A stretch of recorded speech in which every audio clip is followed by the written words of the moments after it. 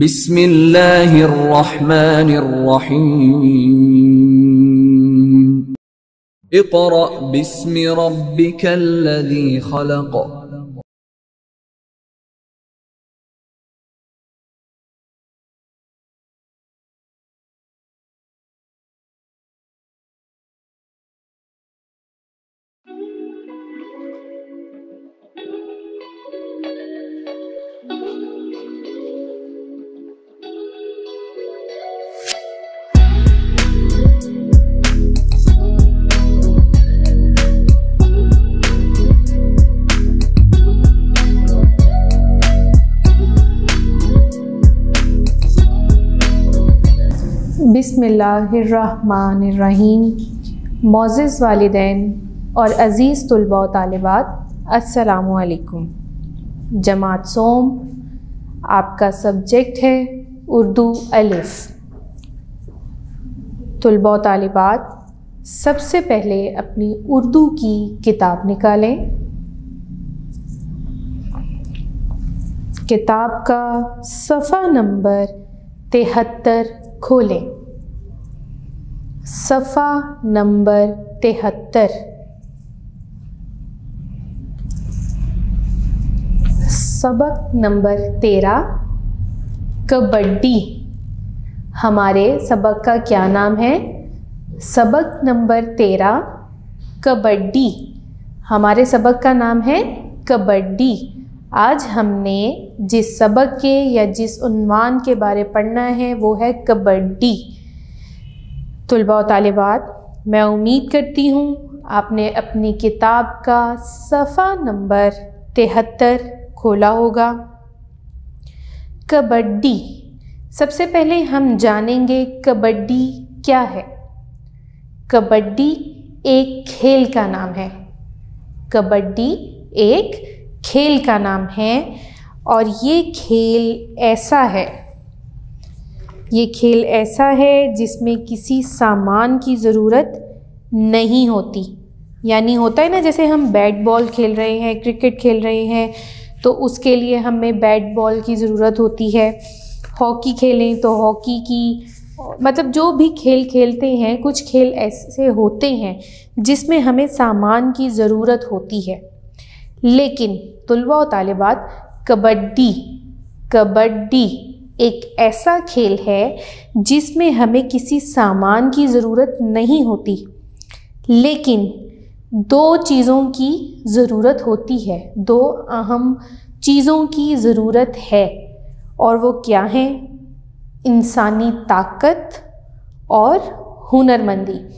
यानी इंसानी ताकत मतलब मज़बूत होना चाहिए। इंसान को कबड्डी का खेल, जो शख्स खेलता है, उसे मज़बूत होना चाहिए। हम ये नहीं कहेंगे कि पहलवान पहलवान नहीं। मज़बूत यानी उसके अंदर इतनी ताकत होनी चाहिए कि जब उसे कोई अपनी तरफ़ खींचे तो वो अपने आप को छुड़वा सके। और दूसरी क्या चीज़ है? हुनरमंदी, कि यानी अब हम इस सबक में आगे पढ़ेंगे कि कबड्डी किस किस्म का खेल है। तो यानी हुनरमंदी से मुराद के उसके अंदर इतना हुनर मौजूद होना चाहिए कि वो ये खेल खेल सके। और सिर्फ़ कबड्डी के लिए ही नहीं तलबा तालिबात ज़िंदगी के हर शोबे में, हर मामले में, हर काम में इंसानी ताकत और हुनरमंदी की ज़रूरत होती है। ज़ाहिर सी बात है, अगर आप बीमार हो जाते हैं, बिलफ़र्ज़ आपको बुखार है, आप बीमार हो जाते हैं तो आप काम नहीं कर सकेंगे। आप सुस्त हो जाएँगे, आप बीमार हैं, आप आराम करेंगे, दवा लेंगे और सो जाएँगे या आराम करेंगे। काम आप नहीं कर सकते, आपके अंदर ताकत नहीं होगी, इंसानी ताकत नहीं होगी, मजबूती नहीं होगी तो कैसे काम हो सकता है? नहीं हो सकता। इसी तरह अगर हम हुनरमंदी की बात करें कि आप देखें, आप कुछ अफराद ऐसे भी हैं, हम अपनी ज़िंदगी में बहुत से अफराद ऐसे भी देखते हैं जो तालीम याफ्ता नहीं होते। लेकिन उनके पास कोई ना कोई हुनर मौजूद होता है तो जो अफराद हुनरमंद होते हैं, वो अपना रोज़गार कमा सकते हैं, क्योंकि उनके पास हुनर मौजूद है। तो ये दो चीज़ें ऐसी हैं कि इनकी ज़िंदगी के हर शोबे में, हर काम में ज़रूरत महसूस होती है, यानी ये ज़रूरी हैं हमारी रोज़मर्रा ज़िंदगी के लिए भी। तो ये था हमारे सबक का नाम कबड्डी, यानी कबड्डी मैंने आपको बताया एक खेल का नाम है। तलबा तालिबात, हम अपना पहले दिन का काम शुरू करेंगे और पहले दिन के काम में हम पढ़ाई सफ़ा नंबर तिहत्तर और चौहत्तर पढ़ेंगे। उसके बाद अल्फाज मायनी और इमला के अल्फाज करेंगे। सबसे पहले है जी, पढ़ाई हमने करनी है तो अपनी किताब के सफ़ा नंबर तिहत्तर पर आएँ। सफ़ा नंबर तिहत्तर पे सबसे पहले हैं ख़ास अल्फाज। सबसे पहले ख़ास अल्फाज। मैं उम्मीद करती हूँ आप तवज्जो से सुनेंगे और पढ़ेंगे मेरे साथ साथ ताकि आपको अल्फाज की अदायगी में और इनको समझने में आसानी रहे। ख़ास अल्फाज में सबसे पहला जो लफ्ज़ है, वो है मशहूर। ख़ास अल्फाज में पहला लफ्ज़ क्या है? मशहूर। मशहूर। मशहूर कहते हैं कि यानी मकबूल हो जाना या शोहरत हासिल होना, मशहूर शोहरत हासिल होना या मकबूल हो, नहीं सॉरी शोहरत हासिल होना। मशहूर यानी कि आप, होता है ना, कुछ अफराद ऐसे होते हैं कि उनका नाम ही इतना मशहूर होता है कि उनका नाम लेने पे ही हम उन्हें जान जाते हैं। लेकिन मशहूर ऐसे ही नहीं हो जाते। मशहूर होने के लिए आपको मेहनत और जदोजहद करनी पड़ती है। और दूसरा ख़ास लफ्ज़ क्या है? मुकाबला। मुकाबला। नंबर तीन, मुखालिफ। मुखालिफ। मुखालिफ यानी देख लें, मुकाबला जैसे आप कह लें कि आप जो तलबा और तालिबात पढ़ते हैं तो इम्तहानी मुकाबला होता है आपका। इम्तहानात में आप दिन रात एक करते हैं दिल लगा कर पढ़ते हैं। क्यों पढ़ते हैं? कि आपको पता है ये मुकाबला हो रहा है? सख्त मुकाबला है जो ज़्यादा नंबर हासिल करेगा, वही पोजीशंस में आएगा। ऐसे ही होता है ना तो ये मुकाबला है आपका कि कौन ज़्यादा मेहनत कर रहा है, ज़्यादा पढ़ रहा है। और मुखालिफ मुखालिफ कहते हैं कि जैसे एक बात मैंने कहा कि ये दिन है। तो दूसरा शख्स अगर कहे कि नहीं, ये दिन नहीं है, ये दोपहर है तो ऑपोजिट जिसे हम कहते हैं इंग्लिश में, उसे उर्दू में क्या कहा जाता है? मुखालिफ। नंबर चार, खिलाड़ी, यानी खेल में जो खेलने वाले होते हैं, जो खेल खेल रहे होते हैं, वो खिलाड़ी होते हैं। और नंबर पाँच, सांस। सांस, जैसे हम सांस लेते हैं, सांस। हम ख़ास अल्फाज एक दफ़ा फिर से पढ़ेंगे और उसके बाद हम अपनी रीडिंग शुरू करेंगे। मशहूर, मुकाबला, मुखालिफ, खिलाड़ी, सांस। जी, अब हम आते हैं पढ़ाई की तरफ़। शुरू करते हैं। कबड्डी पाकिस्तान के सूबा पंजाब का एक मशहूर खेल है। यानी शोहरत वाला, यानी मशहूर खेल है, शोहरत वाला खेल है कि जाना जाता है। कबड्डी पाकिस्तान के सूबा पंजाब का। अब आपसे यहाँ पर मुख्तसर सवाल में पूछा जा सकता है कि कबड्डी पाकिस्तान के कौन से सूबे का मशहूर खेल है? या आपसे इस तरीके से भी पूछा जा सकता है कि सूबा पंजाब का मशहूर खेल कौन सा है? तो कबड्डी कबड्डी। आप देखें, डाल के ऊपर शद है, यानी तशदीद के ये लफ्ज़ दो दफ़ा लिखा गया है तो दो दफ़ा बोला जाएगा कबड्डी। पाकिस्तान के सूबा पंजाब का एक मशहूर खेल है। ये एक ऐसा खेल है, जिसमें किसी भी सामान की ज़रूरत नहीं होती। जी हाँ मैंने आपको बताया था शुरू में ही जब हम सबक का नाम पढ़ रहे थे कि कबड्डी एक ऐसा खेल है जिसमें किसी सामान की ज़रूरत नहीं होती।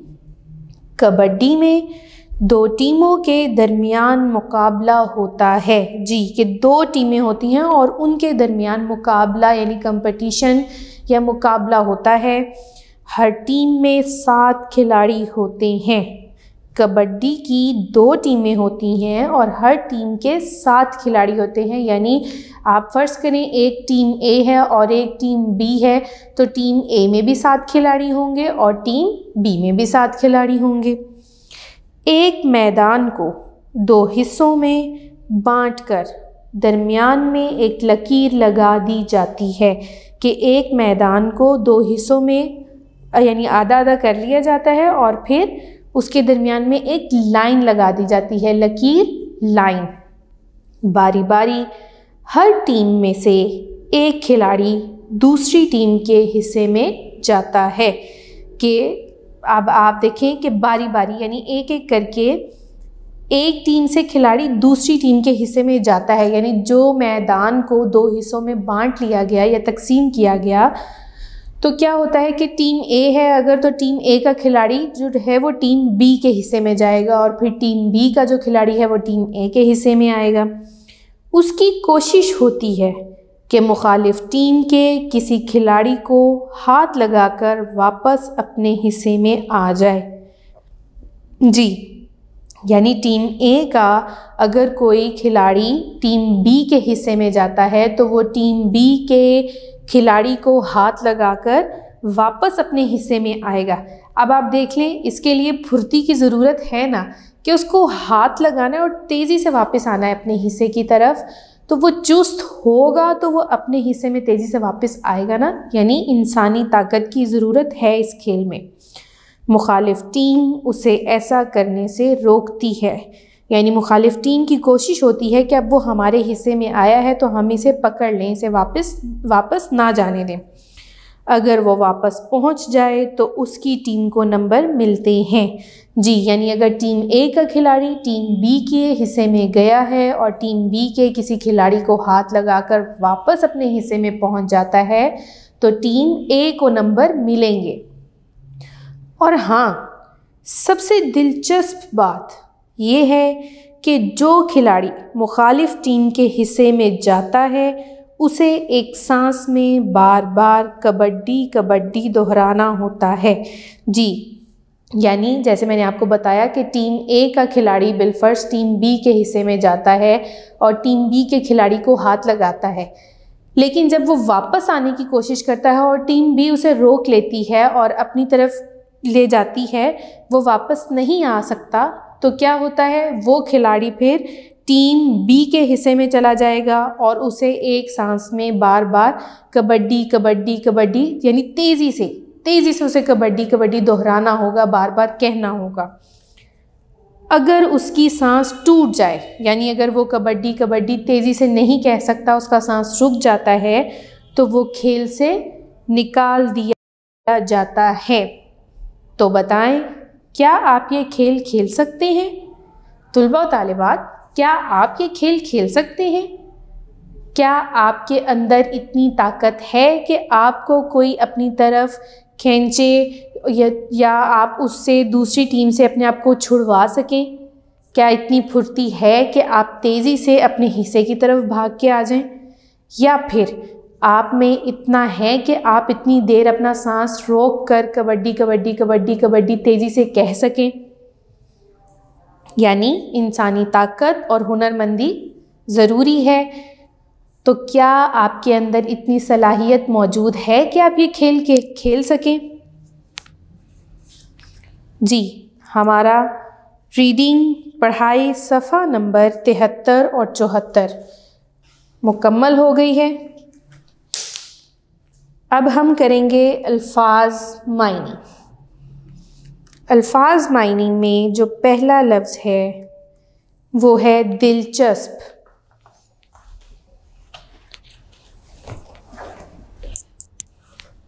अल्फाज मायने पर पहला लफ्ज़ क्या है? दिलचस्प। तो दिलचस्प का मतलब क्या है? हैरान कन। दिलचस्प हैरान कन? नंबर दो, लकीर।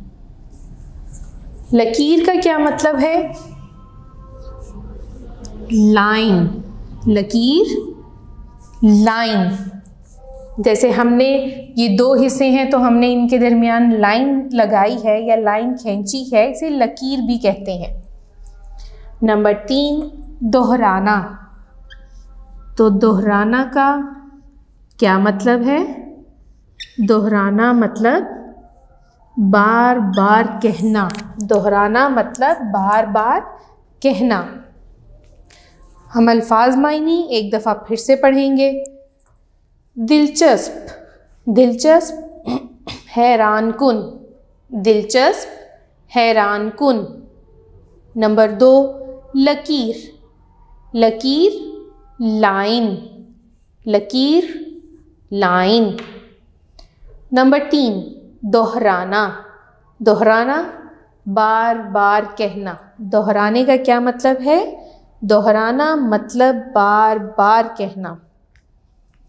जी, आगे है जी, इमला के अल्फाज। अब इमला के अल्फाज, सबसे पहला जो लफ्ज़ है इमला के अल्फाज में वो है मशहूर। इमला के अल्फाज में पहला लफ्ज़ क्या है? मशहूर। नंबर दो, सामान। नंबर दो, सामान। नंबर तीन, ज़रूरत। नंबर तीन, ज़रूरत। नंबर चार, मुकाबला। नंबर चार, मुकाबला। नंबर पाँच, लकीर। लकीर। नंबर छ मुखालिफ। नंबर छ मुखालिफ। नंबर सात दिलचस्प। नंबर सात दिलचस्प। नंबर आठ सांस। नंबर आठ, सांस। नंबर नौ, खिलाड़ी। नंबर नौ, खिलाड़ी। और नंबर दस सुबह नंबर दस सुबह अब इनमें से तलबा तालिबात, तकरीबन पाँच जो अल्फाज हैं वो आपके सबक के शुरू में ही जो ख़ास अल्फाज दिए गए हैं, उनमें उनमें भी लिखे गए हुए हैं। हम इमला के अल्फाज एक दफ़ा फिर से दोहरा लेते हैं। नंबर एक, मशहूर। नंबर एक, मशहूर। नंबर दो, सामान। नंबर दो सामान. नंबर तीन, ज़रूरत. नंबर तीन, ज़रूरत. नंबर चार, मुकाबला. नंबर चार, मुकाबला. नंबर पाँच, लकीर. नंबर पाँच, लकीर. नंबर छः, मुखालिफ. नंबर छः, मुखालिफ। नंबर सात, दिलचस्प। नंबर सात, दिलचस्प। नंबर आठ, सांस। नंबर आठ, सांस। नंबर नौ, खिलाड़ी। नंबर नौ, खिलाड़ी। नंबर दस, सूबा। नंबर दस सूबा। तलबा तलबात हमारा पहले दिन का काम मुकम्मल हो गया है।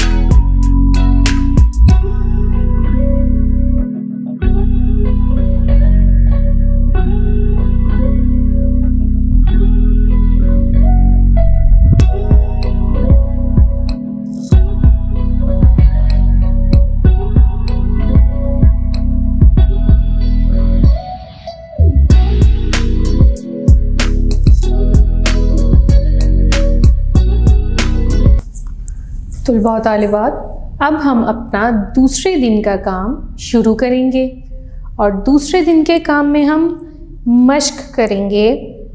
अपनी किताब का सफ़ा नंबर पिचहत्तर खोलें। पहला सवाल है, अरकान मिलाइए। सबसे पहला सवाल क्या है? अरकान मिलाइए, यानी अरकान मिलाने हैं और उससे जो लफ्ज़ बनेगा वो लिखना है, ये अरकान हमें दिए गए हैं और हमने इन अरकान को मिलाकर लफ्ज़ बनाने हैं। तो सबसे पहला, क्या लफ्ज़ बनेगा? पे अलिफ पा, काफ सिन, किस? ते अलिफ तानुन तान। तो क्या बना ये? पाकिस्तान। हमने अरकान मिलाने हैं तो क्या बनेगा ये? पाकिस्तान। नंबर दो। पे नून पन जे जीम अलिफ जाबे जाब। तो क्या बन गया ये? पे नून पन जीम अलिफ जा बे पंजाब। क्या लफ्ज़ है ये? पंजाब। नंबर तीन। मीम शीन मश हे वाओ हु, रे मशहूर मीम शीन हे वाओ रे, मशहूर। नंबर चार, काफ, हे, बड़िए, खे, लाम, खेल। काफ, हे, ये, लाम, खेल। और नंबर पाँच मीम बड़िए, मैं, दाल लिफ दानुन दान। मैं, दान। फिर से पढ़ते हैं। पाकिस्तान। क्या लफ्ज़ है ये? पाकिस्तान। पंजाब। पंजाब। मशहूर। मशहूर। खेल खेल, मैदान मैदान। सवाल नंबर दो है, जवाब लिखें। इन सवालात के जवाबात लिखने हैं। पहला सवाल क्या है? कबड्डी पाकिस्तान के किस सूबे में खेला जाता है? पहला सवाल, कबड्डी पाकिस्तान के किस सूबे में खेला जाता है? जी तो कबड्डी पाकिस्तान के किस सूबे में खेला जाता है? कबड्डी, हम जवाब साथ साथ लिखते जाएँगे। कबड्डी पाकिस्तान के कबड्डी पाकिस्तान के कौन से सूबे में हमने रीडिंग के दौरान पढ़ा था? सूबा पंजाब। कबड्डी पाकिस्तान के सूबा पंजाब में खेला जाता है। कबड्डी पाकिस्तान के किस सूबे में खेला जाता है? कबड्डी पाकिस्तान के सूबा पंजाब में खेला जाता है। सूबा पंजाब का मशहूर खेल है। हमने अपनी रीडिंग के दौरान पढ़ा था इस सबक की। रीडिंग के दौरान कि कबड्डी पाकिस्तान के सूबा पंजाब में खेला जाता है। अगला सवाल है, कबड्डी में हर टीम में कितने खिलाड़ी होते हैं? जी तो कबड्डी में हर टीम में कितने खिलाड़ी होते हैं? कबड्डी में हर टीम में। हमने जब सबक पढ़ा तो हमने क्या पढ़ा था कि कबड्डी में हर टीम में कितने खिलाड़ी होते हैं? सात खिलाड़ी होते हैं। हर टीम में सात खिलाड़ी होते हैं। कबड्डी में, हर टीम में सात खिलाड़ी होते हैं। सवाल नंबर तीन। खेल कबड्डी के दौरान खिलाड़ी एक सांस में क्या कहते हैं? यानी ये जो खेल है, इसके दौरान खिलाड़ी एक सांस में क्या कहते हैं? यहाँ सवाल में हमने कबड्डी लिख दिया, यहाँ खेल आएगा। जी। खेल के दौरान खिलाड़ी एक सांस में क्या कहते हैं? जवाब है इसका, खेल के दौरान। खिलाड़ी एक सांस में। क्या कहते हैं खिलाड़ी एक सांस में? खिलाड़ी एक सांस में कबड्डी कबड्डी कहते हैं। क्या कहते हैं? कबड्डी कबड्डी। खेल के दौरान खिलाड़ी एक सांस में क्या कहते हैं? खेल के दौरान खिलाड़ी एक सांस में कबड्डी कबड्डी कहते हैं।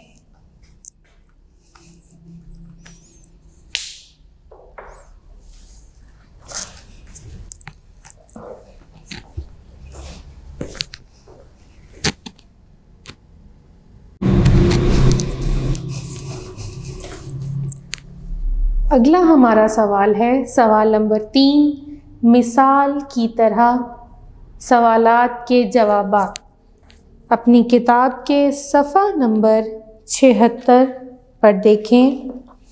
सवाल नंबर तीन है, मिसाल की तरह सवालात के जवाब दें। सबसे पहला सवाल क्या है जो उन्होंने मिसाल के तौर पर हमें दिया है? क्या कबड्डी एक मशहूर खेल है। जवाब, जी हाँ कबड्डी एक मशहूर खेल है। सवाल क्या है? क्या कबड्डी एक मशहूर खेल है?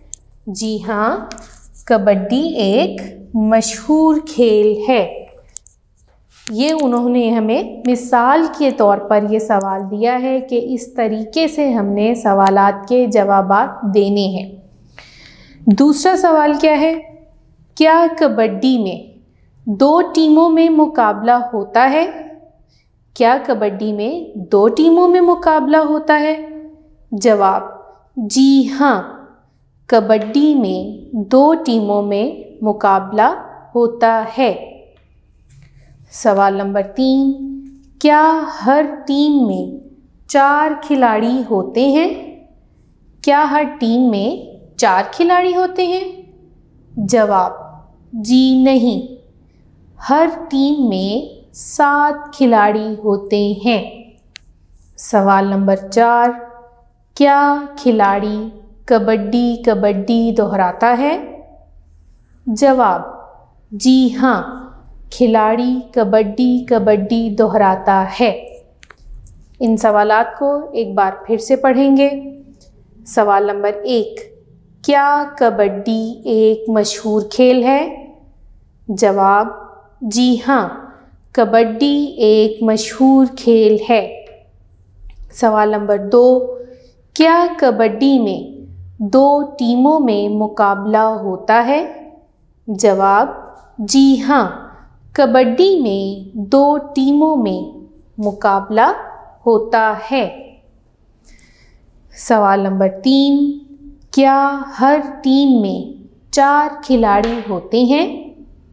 जवाब, जी नहीं। हर टीम में सात खिलाड़ी होते हैं। सवाल नंबर चार, क्या खिलाड़ी कबड्डी कबड्डी दोहराता है?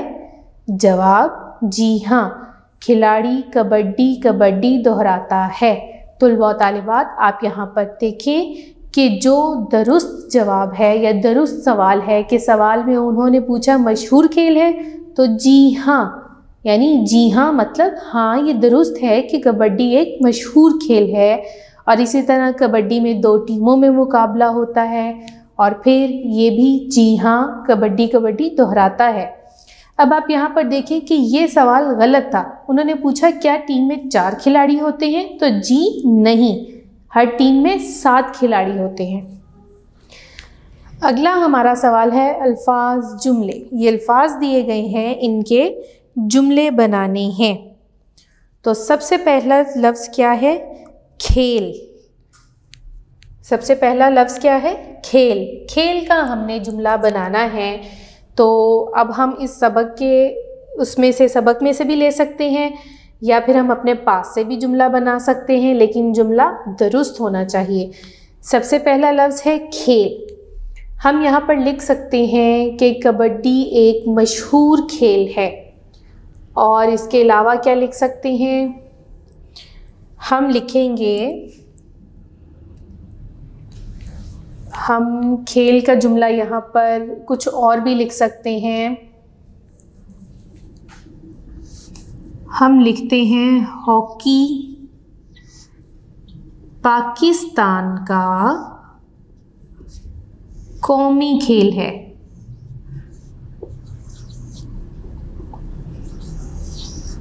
कौमी खेल है।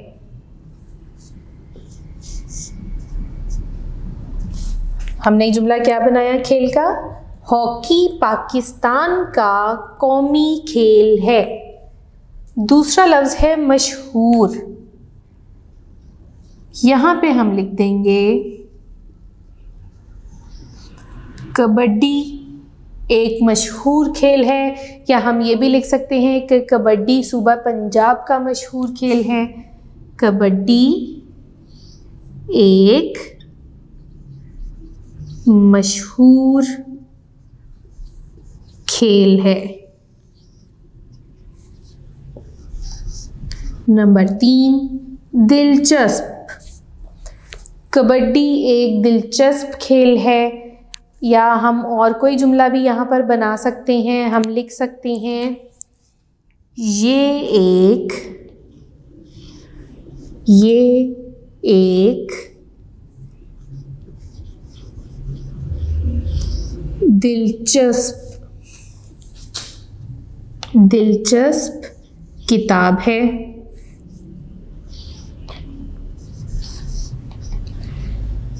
हम अपने जो हम सबक पढ़ते हैं, उसकी जो हम रीडिंग करते हैं, हम उसमें से भी लिख सकते हैं जुमले, लेकिन ज़रूरी नहीं है कि हम वहीं से लिखें। अगर हम मज़ीद जुमले ख़ुद से बना सकते हैं तो ये अच्छी बात है कि हम जुमला तब्दील कर लें, हम कोई और जुमला लिख लें, लेकिन जुमला दुरुस्त होना चाहिए।